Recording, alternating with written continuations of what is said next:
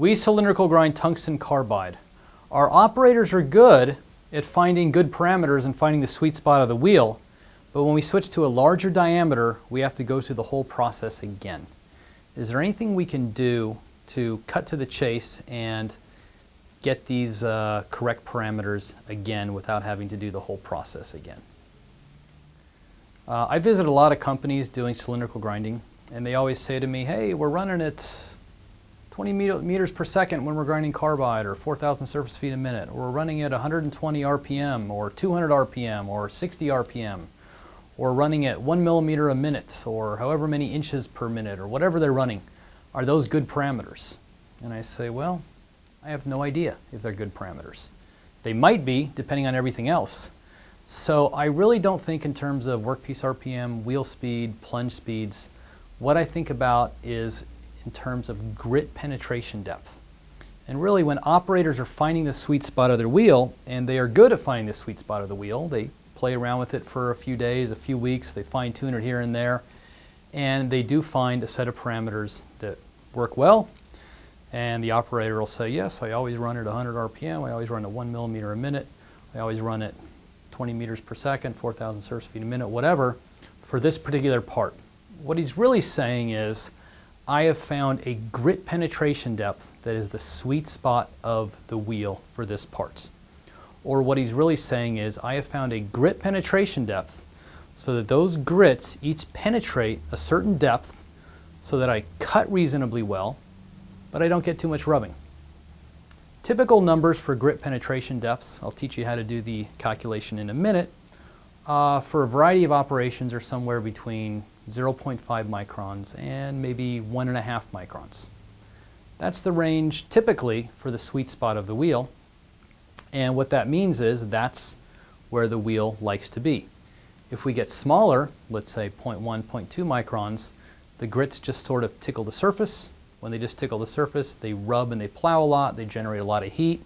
When you generate a lot of heat, bad things happen. In steels, you burn the part. In carbide, you might crack the part, or more often in carbide, really what you're doing is softening the resin, burning away the resin, getting lots of wheel wear, chewing up your wheel. Bad things happen. If your grit penetration is too large, 2 microns, 3 microns, 4 microns, typically your heat generation is low because you're cutting quite well but the forces on the grits are so big that you're just chewing up the wheel, ripping the grits out of the bond material prematurely. So we want to be in the sweet spot. Your operators are probably pretty good at finding the sweet spot. Most of them are. But what happens is they switch to a bigger diameter, that sweet spot has stayed the same in terms of grit penetration depth, but it's changed in terms of the optimum RPM, the optimum wheel speed, the optimum plunge speed, etc. So I don't think in terms of RPM, wheel speed, plunge speed.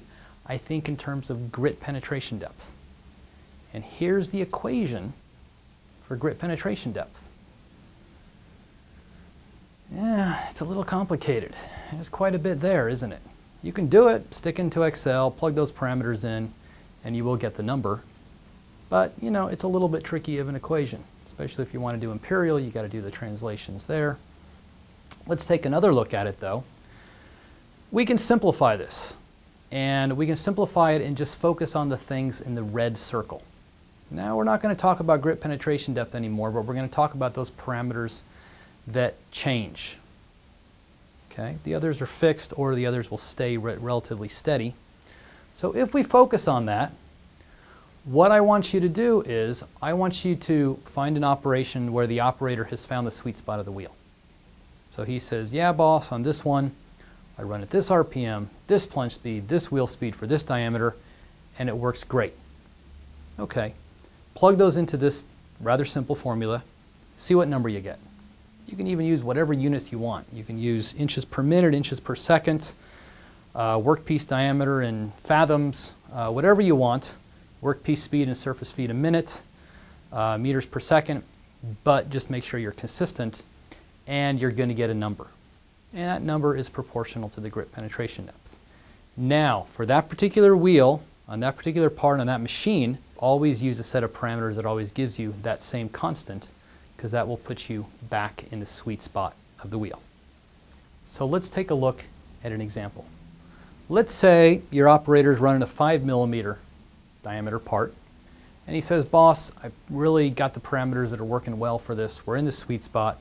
We're running at a plunge speed of 2 millimeters a minute. I'm running at 120 RPM. I got a wheel speed of 20 meters per second. Say this is carbide. That constant you plug into the equation is 1.73. Now, let's say he jumps to a 15 millimeter part. He's three times as large. He says, well, it's a 15 millimeter part, so I'm going to drop my plunge speed a little bit because it's a bigger part. And I'm going to keep everything else the same. Still going to run at 120 RPM. Still going to run at 20 meters per second. Now that constant, which is equivalent to the, which is proportional to the grit penetration depth, has gotten bigger. And a lot of bad things are going to happen now. You're probably going to chew up your wheel, get really bad wheel wear, maybe even get a rough surface finish. But let's do this. Now when we run that 15 millimeter part and we run at one millimeter a minute, let's choose our parameters to give us that same constant again. So let's drop that workpiece RPM to 80 RPM. We'll keep the same wheel speed. That'll take us to 1.73. That keeps us in the sweet spot of the wheel. Let's say your machine runs at constant RPM on the, um, on the workpiece. You can't change it. Oh, that's okay. Let's change the wheel speed. So we'll plug in there 15 millimeters, one millimeter a minute. We'll stay at 120 RPM, but now let's change the wheel speed to 24.5 meters per second.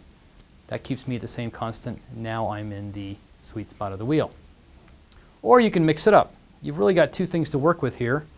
You've got the RPM of the workpiece and you've got the speed of the wheel. Or if you want to change your feed rate, you've got three things to work with. However you want to do it, I just want those three put in the equation to give me that same constant because that's the constant for the sweet spot of the wheel. Now let's say your operator comes along and he's got a 50 millimeter diameter part. So he's got this big part and he goes, man, I got to grind this guy. I have no idea what parameters to use. That's okay. We're going to keep that same constant to put us in the sweet spot of the wheel. Let's say he drops the feed rate to 0.4 millimeters a minute. He's got more stock to remove. So he slows that down. That's fine. Let's choose some parameters that give us the same constant, 117 RPM, 28 meters per second.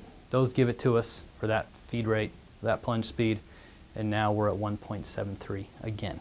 Then the next step is to say, okay, well, we've got that. Let's start cranking up our plunge speed. So let's not go from 0.4, let's try 0.6, let's try 0.8. Let's increase that, but if we're going to increase that, we have to make sure we adjust the RPM of the workpiece and or the wheel speed to give us that same constant. That's one way to do it. The other way to do it is to plug it into the grinder's toolbox. That is a program I developed where you can just plug these numbers in.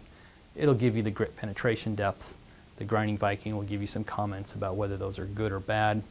That's what I do because it's just quicker and easier. Or you can do it with the equation go with that.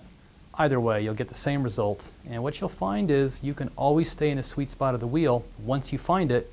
So really, you've just got to find it for that particular wheel on that machine with that type of workpiece. Find the sweet spot once and then stick with it from there on out.